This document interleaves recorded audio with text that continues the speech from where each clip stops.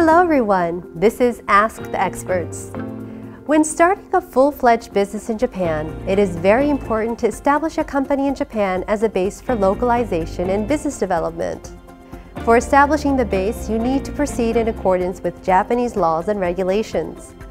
In this video series, experts in the field of incorporation will explain the advantageous information that foreign companies need to know when incorporating in Japan.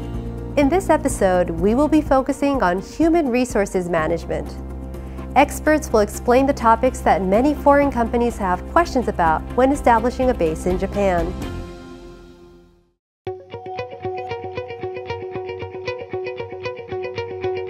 Let me introduce Mr. Kamii. He has supported and advised many companies to start up their businesses in Japan. Thank you for coming today. Thank you for having me today. There's so much to do. Which is your top priority and what should we be careful of? Understanding Japan's labor and employment laws and regulations is important, but equally important is to understand Japan's culture and employment culture that exists behind those rules. I see. Working style, environment, and culture are all products of each country's history, and naturally they differ from country to country.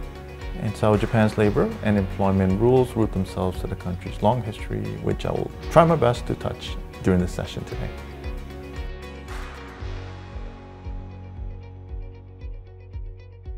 Let's move on to the first topic. What would you say is distinctive about Japan's wage and salary system? I would raise overtime payment, transportation allowance, and perhaps severance payment as matters that are distinctive to Japan's wage and salary system, as some, some other countries um, do not offer these kind of um, system. Many people are surprised to hear of the need to make overtime payments in Japan, but it is um, statutorily required under the Labor Standards Act in Japan to make these payments. And some companies, um, however, um, structure their wage and salary system in a way to minimize their need to make overtime payments. But when doing this, it's important to keep in mind that the company needs to record and track and also monitor employees' time and attendance. How about transportation allowance and severance pay? Um, while there are no statutory requirements for the employer to pay transportation allowance or severance payment to existing or terminating employees, most if not all businesses in Japan do offer these as part of their wage and salary system. And so businesses may face challenges um, hiring employees if they do not offer these benefits. Under the lifetime employment system, severance payment was made to terminating employees as a reward and appreciation for lifetime commitment and services and the amount was um, pretty significant and um, it was calculated usually by um, multiplying the final month's pay, base salary, uh, and then you would multiply a coefficient which was determined based on service years and performances. And it contributed to a, a significant or large sum of money, so it was, it was considered as a, an important source of income for retirement. And in recent years, however, businesses are shifting towards defined contribution pension whereby employers make monthly fixed contributions to employees' personal account and employees are on their own to make investment decisions and have the responsibility to grow the retirement nest. So to attract employees and recruit them, it seems important to research in advance what kind of contract would be best in each case. Yes, I would think so.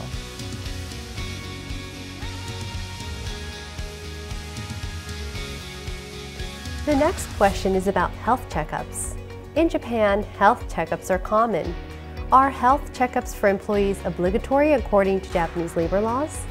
Yes, indeed they are. In Japan, the law requires employers to provide at least one health checkups a year to employees for prevention and early detection of disease and to maintain employees' health condition. Newly hired employees are also required to undergo health checkup and provide its result to the employer as evidence of their fitness to work. And one reason why health checkups are important in Japan is that employers are required by law and judgment of courts to give various considerations to the safety of, of their employees. And in, this goes back in history, but post-World War II, Japan's foreign trading and importing increased as the country was recovering from the war. And increase in cargo containers resulted in an outbreak of infectious disease and the importance of early detection of disease was widely recognized as being important to ensure employees work in healthy conditions. So perhaps this is a good example of how history has shaped up Japan's law and regulations requiring employers to provide health checkups. I didn't know about the historical background.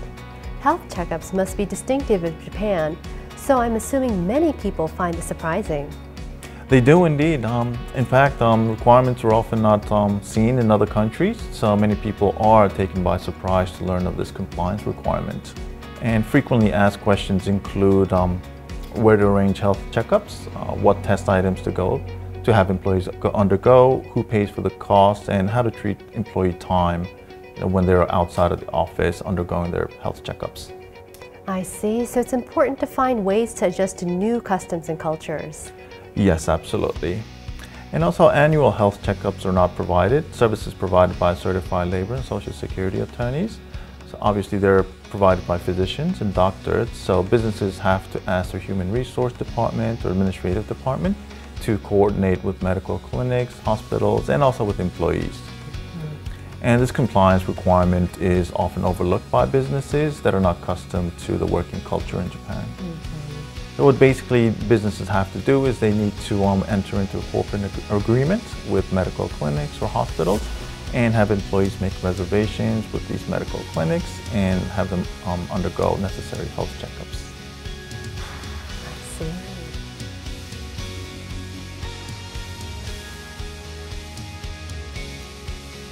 see. My next question is regarding diverse employment conditions. Recently, work styles are becoming more and more diverse and employees have different agreements with their companies accordingly. However, if employment conditions are diverse, what are important points to keep in mind? Yes, um, working conditions and social insurance eligibilities for directors and part-time employees and subcontractors differ from those of regular employees in various ways. So it's important to keep the differences in mind and making sure what employees are required or eligible to participate in when making decisions to what kind of offerings to do, to make. And in accordance with Japanese um, Labor Standards Act and Labor Contract Act, regular employees enter into employment contract with their employer. On the other hand, directors enter into appointment contract in accordance with Companies Act and are not governed by the Labor Standards Act. And so directors generally cannot participate in employment insurance and workers' accident compensation insurance. So if they do want coverage for these um, accidents, they need to um, find private insurances. And the same is true for subcontractors. Um, they are also um, required to register with National Health Insurance and National Pension, which is a system aside from corporate employees. As another example of a difference between an employee and a director, a director may be held accounted for and be personally be liable for um, the company's actions, whereas employees may, may be, possibly may be um, liable for damages they might cause the company, but in general the company would be responsible for any actions of employees. And further, employees receive wages as compensation for their work determined by management, but directors receive director remuneration for their services determined by the Articles of Association or resolutions in the general meeting of shareholders. So depending on the type of contract, earnings and responsibilities change. I'm thinking we need to take into account wages and director remuneration from a tax perspective as well. We do, that's a very important point. Um, director remuneration requires tax considerations because um, as mentioned by JETRO's tax advisor, wages are fully deductible as expenses or costs for corporate tax purposes. However, director remuneration may not be fully deductible, so it's important to consult with a tax professional. What kind of issues could potentially be a source of trouble? It is common for foreign businesses to pay quarterly commissions, especially to those in sales functions, for Japan tax purposes, these commissions are categorized as bonuses, therefore fall outside the scope of director remuneration, which needs to be fixed in its amount and payment timing. And as a result, these quarterly commissions are not deductible expenses for corporate tax purposes. And to avoid these such treatments, it may be possible to lump quarterly commissions into one bonus and subject it to advanced reporting to the tax office, which may allow it to be deductible. However, the drawback is that it may not be happy news for the director as they might lose out on their incentive for the quarterly commissions. I see. So it's important to check the details of the different employment contracts in advance. Absolutely, and I would recommend um, consulting tax professionals that are introduced by JETRO.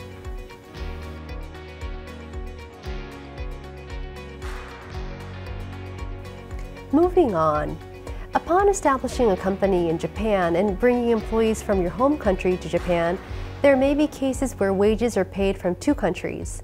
What do we need to be careful of? Right, we would normally call that split payroll arrangement, where payroll is paid both in Japan and in the home countries. And it's common for international signees in Japan to have these split payroll arrangements. Split payroll arrangements works well where an employee leaves their um, dependent family members behind in their home countries and or have mortgage payments to make as it is more efficient and effective than arranging frequent international wire transfers, incurring wire transfer fees. Under split payroll arrangements, Japanese income tax is withheld from wages paid in Japan but it is not withheld from wages paid in the home countries. And as a result, such international assignee would generally be required to file their personal tax return in Japan.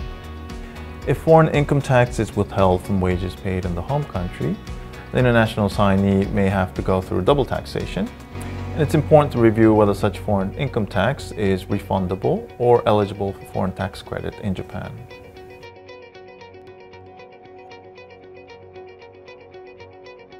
Thank you for sharing with us such beneficial information.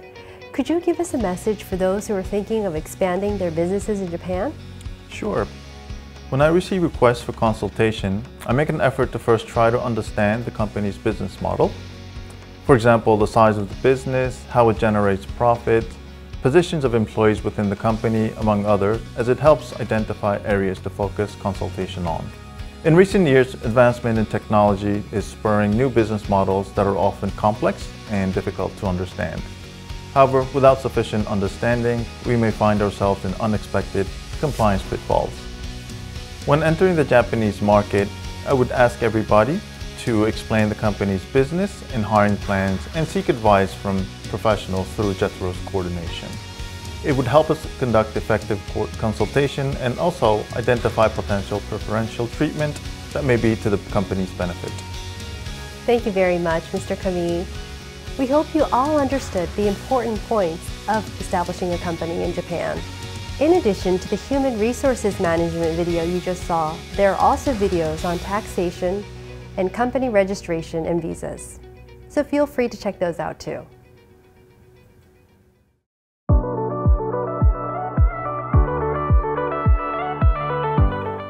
JETRO has more than 70 overseas offices to support foreign companies entering the Japanese market and developing their business.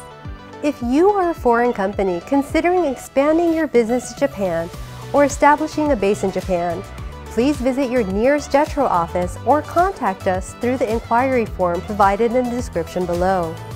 Our experienced staff will be happy to guide you through the process. We wish you success in the Japanese market. See you soon.